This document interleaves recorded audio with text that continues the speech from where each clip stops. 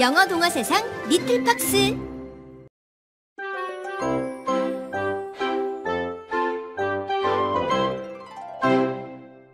ABC book. ABC북은 재미있는 그림과 함께 알파벳을 쉽게 익힐 수 있는 시리즈입니다. 영어를 처음 시작하는 아이들을 위해 단순하면서도 익살스러운 애니메이션으로 구성되었답니다. 먼저 알파벳의 이름과 대문자, 소문자가 소개되는데요. 알파벳을 쓰는 방법을 애니메이션으로 보여줍니다. 화면을 따라 A. 직접 써볼까요? A.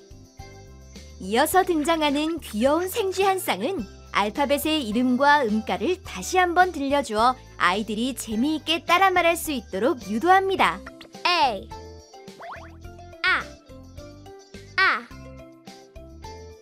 그 다음에는 해당 알파벳이 사용된 단어가 제시되는데요.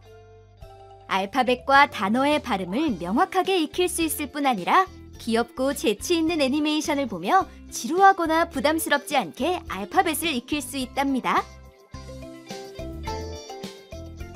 리틀팍스의 ABC북과 함께 재미있게 알파벳과 영어 단어를 배워볼까요?